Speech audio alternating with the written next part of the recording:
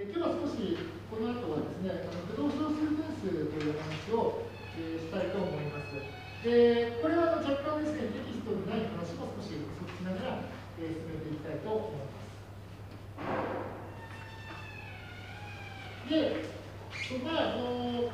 計算機ではですね、しばしばその実数を表す、えー必要性もあるんですけれども、うんとまあ、あのここではその実数を有限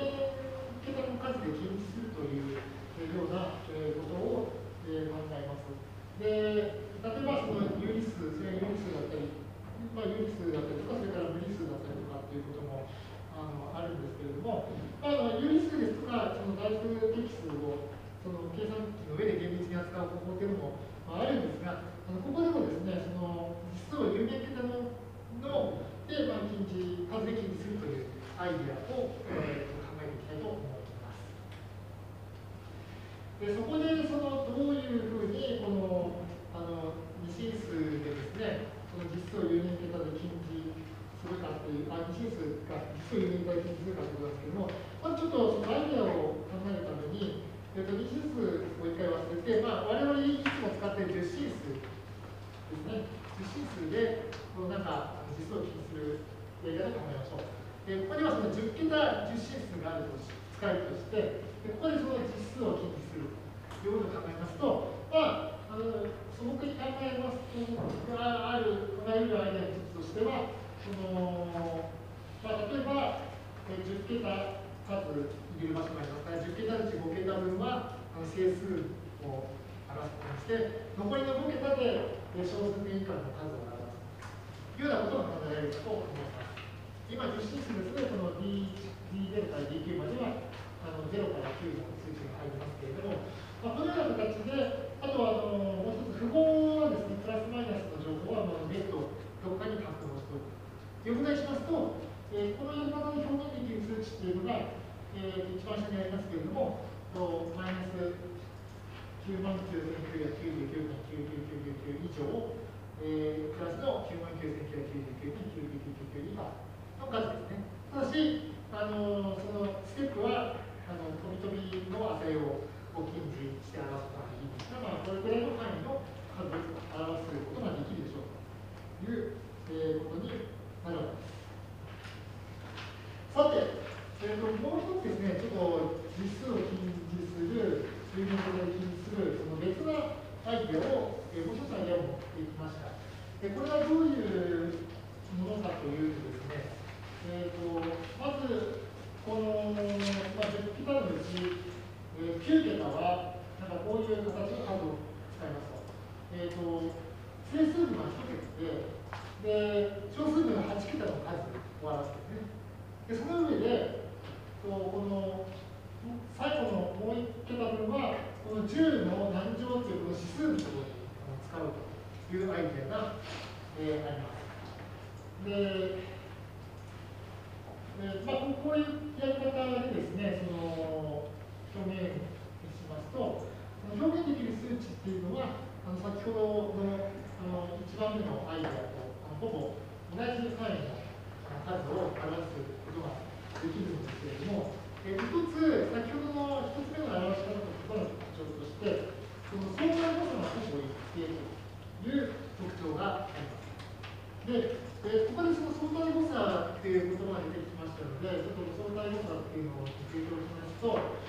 えー、と x を、まあ、真の値として、それに対して x プライムっていうのをあの近似値のために、あの絶対誤差と相対誤差っていうのを考えることができるんですけども、まず絶対誤差は、この x プライムの x からの差の絶対値ですね。まあ、どのぐらい離れてるか、実際の量がどのぐらい離れてるかというのは絶対誤差で、それとして、えー、と相対誤差というのは、この絶対誤差を、えー、と真の値、x の絶対値で割った値ですね。だから、真の値の大きさに対して、どのくらい、こう、あのーの割合で、えー割合割合で、こう、あの誤差が、えー相対しているかということを表したのが、この相対誤差ということになります。で、えー先ほどのこの、えー、とその2つ目の実数を有意で記述する方法というのは、えー実はこの、えー、とえーと有限桁で実数を禁止した場合の相対誤差が、まあ、どの区間でも、まあどの範囲でもですね、この範囲でほぼ一定であるという特徴を持っています。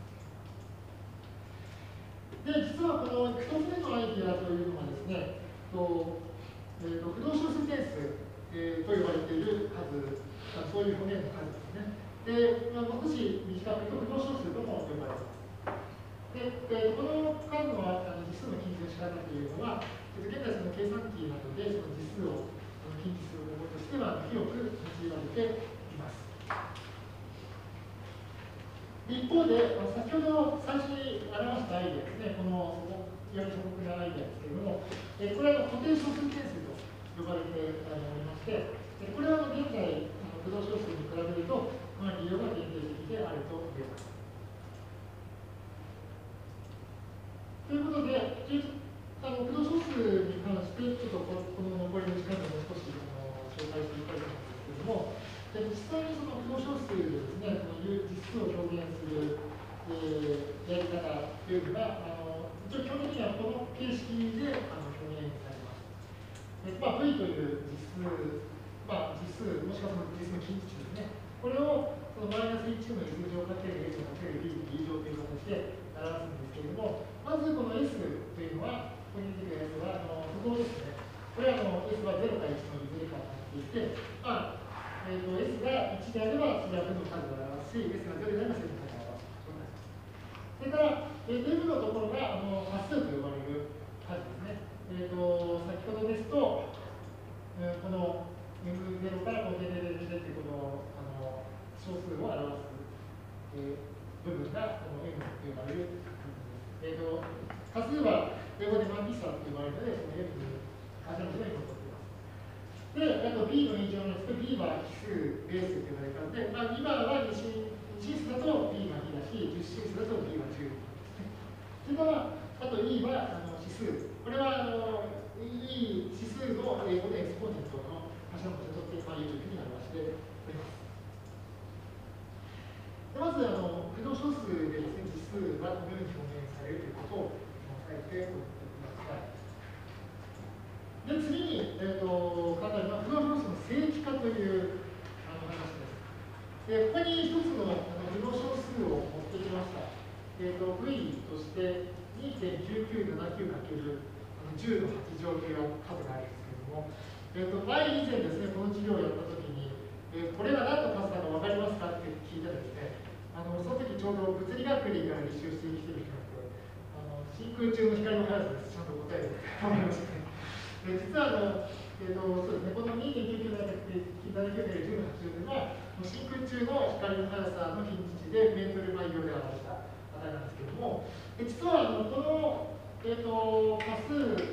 かける10の何乗という表現の仕方っていうのは、あの加数部を例えば10倍して、指数部をあの指数を1個減らしても同じような数を表すんですね。これは29.97の9で10の7乗と表すことができたり、あるいはえー、逆に、えーと、数数部をもっと小さくして、0.299の9かける10の9乗というふうに、もうなんか多数部と指数部の桁をずらすと、いろいろな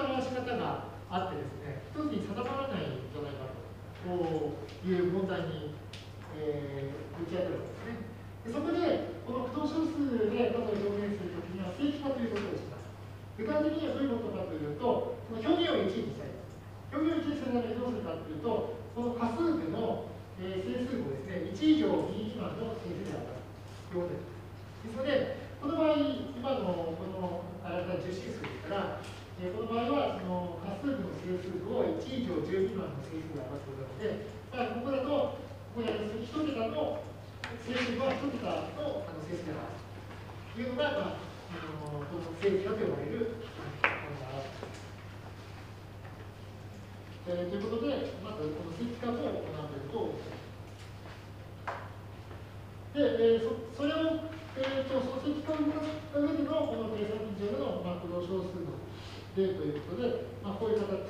ですね、えーと、表します。で、まあ、これ計算機上ですから、あのえーと、B、この引数 B のところを2にしておいて、えーとまあ、2の、えー、二進数でこの、まあ、加数、それから、えーえー、と指数を表す指数を表すということで、このような形で表すという例もありますので、まあ、ここまで、まあ、とりあえずあの今はそんなに深くこう追求しなくてもいいですね、まあ、こういう形